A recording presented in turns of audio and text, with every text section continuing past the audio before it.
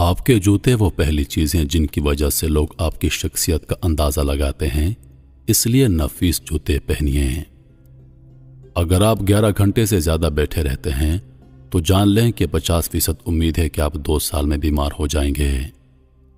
कम अज कम छः लोग दुनिया में आपके हम शक्ल मौजूद हैं, और नौ फ़ीसद उम्मीद है कि ज़िंदगी में उनसे एक बार आपकी मुलाकात हो जाएगी। तकिए के बगैर सोने से आपकी कमर मज़बूत होती है और कमर दर्द से आराम महसूस होता है। किसी शख्स का कद अमूमन उसके बाप की तरह होगा और वज़न उसकी माँ की तरह।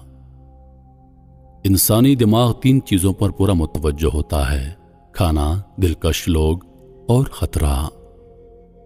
दाया हाथ इस्तेमाल करने वाले खाना भी दाई तरफ़ खाते हैं।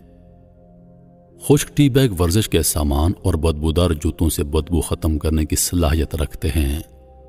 अल्बर्ट आइंस्टाइन के मुताबिक, अगर ज़मीन से शहद की मक्खी का वजूद खत्म हो जाए तो इंसानी हयात चार दिन में खत्म हो जाएगी। सेब की इतनी ज़्यादा इकसाम है कि अगर हर रोज एक नई किस्म का सेब आप खाना शुरू कर दें तो 20 साल तक खाते रहेंगे।